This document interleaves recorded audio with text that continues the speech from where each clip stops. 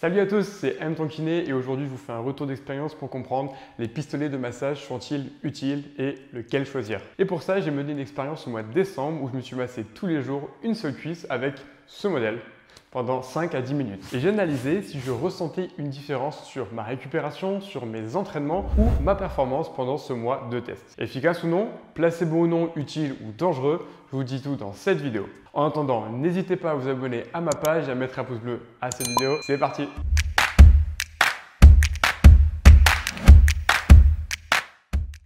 Pour bien comprendre à quoi servent ces pistolets, il faut comprendre leur fonctionnement. Globalement, ces pistolets vont avoir une action mécanique sur le muscle. Par des percussions, l'idée sera de venir le détendre pour permettre, d'après les marques en tout cas, d'améliorer la récupération après un effort. Globalement, cela va nous permettre de réaliser à la maison des massages de récupération sans avoir besoin de quelqu'un pour nous aider. Donc, se demander les pistolets sont-ils efficaces? C'est répondre à la question des massages sont-ils efficaces? Et la réponse est oui, en tout cas pour la récupération. Pour mon retour personnel, sur mon test, je n'ai vu aucune différence entre ma cuisse droite qui était massée et ma cuisse gauche pendant toute la durée de l'utilisation. Que ce soit dans mon aisance dans mes entraînements, sur l'apparition de mes courbatures ou encore sur ma performance, je n'ai vu aucune différence. Par contre, concernant mon bien-être, là, c'est une autre histoire. La séance de massage en elle-même n'était pas toujours très agréable car je suis du genre à aimer quand ça fait un petit peu mal. Mais une fois le pistolet éteint, il est vrai que le soulagement était bien présent et immédiat. Aussi bien sur mes courbatures que sur les sensations de jambes lourdes, c'était efficace. Attention,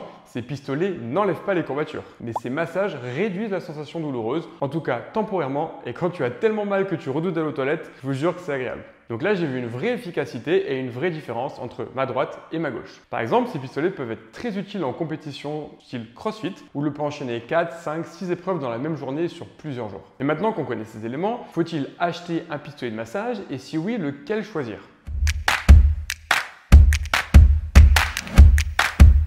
Pour l'utilité, je pense que le choix doit être propre à chacun. Quel temps consacrez-vous à votre récupération? Aimez-vous cette sensation un petit peu douloureuse mais agréable? Et surtout, n'oubliez pas que cela demande un côté actif de se masser soi-même sur les différents tissus. C'est différent de juste se détendre devant sa télévision. Un des points négatifs que je trouve, c'est qu'il est difficile d'accéder à certaines zones comme les trapèzes ou alors le dos. Dans les publicités, on les voit utiliser les trapèzes, mais globalement, on n'est pas détendu, c'est pas efficace. Donc, soit vous avez quelqu'un à la maison pour vous aider, soit cet outil n'est pas fait pour vous, ou en tout cas pas pour cette zone. Mais si ces éléments ne sont pas des freins pour vous, dans ce cas-là, ça peut être une solution.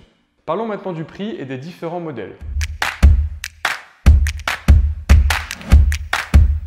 Sans avoir spécialement étudié toutes les marques, je ne pense pas que les différents modèles présentent de grands avantages techniques sur le massage. Oui, il y a des vitesses, des fréquences de percussion qui varient selon les modèles, mais je ne pense pas que cela ait une énorme efficacité ou une énorme différence d'efficacité selon les marques. Par contre, trois éléments me semblent importants. Le poids et l'ergonomie du pistolet, parce que si vous l'utilisez plusieurs minutes, vous verrez que cela demande un minimum de force et peut donc être un vrai frein à son utilisation. Le bruit, car certains sont des vraies usines et risquent de vous casser littéralement les oreilles et donc vous ne l'utiliserez plus. Et enfin la durée de la batterie, car ça peut être vite très pénible de devoir le recharger en permanence et encore plus si vous l'utilisez en compétition ou en déplacement. Voilà un petit peu mon retour d'expérience. Pour conclure, je ne pense pas que ces outils soient indispensables pour progresser et surtout n'apportent aucune aide pour ne pas se blesser. Mais j'interdirai pas son utilisation, même si je dois vous en parler, il existe un cas reporté de rhabdomyolyse. La rhabdomyolyse est une atteinte du tissu musculaire, donc je pense que c'était une personne qui avait utilisé ce type de pistolet trop longtemps ou de manière trop précise sur un tissu musculaire,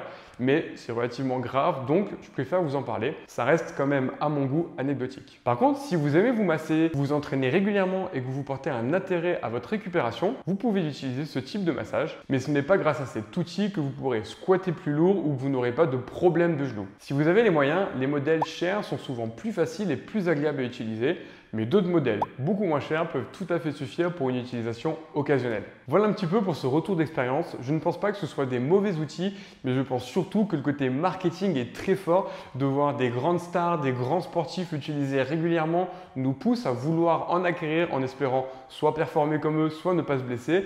Je pense qu'il y a quand même une part de mensonge là-dedans, mais que si on a le temps, l'envie, qu'on trouve ça agréable, il n'y a aucun problème à l'utiliser. Voilà, j'espère que cette vidéo vous a plu. N'hésitez pas à me mettre en commentaire vos retours si vous avez déjà utilisé ce produit, à me poser vos questions si vous en avez. Et d'ici la prochaine vidéo, n'hésitez pas à vous abonner à ma page et à mettre un pouce bleu sous cette vidéo. Bonne journée à tous